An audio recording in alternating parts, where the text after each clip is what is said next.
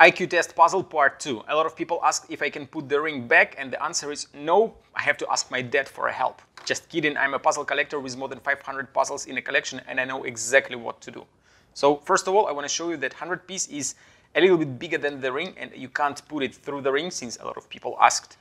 And now I will show you the solution. So grab the 100 piece, put it through the cutout, grab the ring, put the wooden ball through the ring and put the ring through the cutout move it around the nosy piece like this, put the 100 piece inside the cutout, put the ring over the nosy piece again, put the wooden ball inside the ring, and now move the ring around the whole IQ test piece like this, and the puzzle is solved. If you think this puzzle wasn't difficult enough, watch my video where I solve this extremely difficult helical burr puzzle.